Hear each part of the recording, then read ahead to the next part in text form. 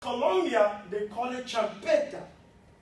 So this is now in global context what's happening. Things that went this way. It went back in forms of reggae, in forms of you know, Afro-Cuban, and then it, it created this things that is now ooh, shooting back. Congolese not only we brought the traditional dance from the early days, but now we're bringing in the contemporary sense.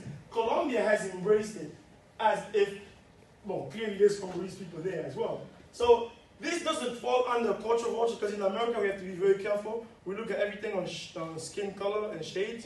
Uh, other places they don't really vouch things on that way because we'll see, what's the name, uh, Shakira as Colombian.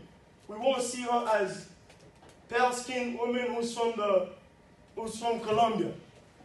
Other places we'll see this is a Colombian woman who's of a, who has some sort of Afro roots mix over there. So the, the rest of the context, depending on where you are.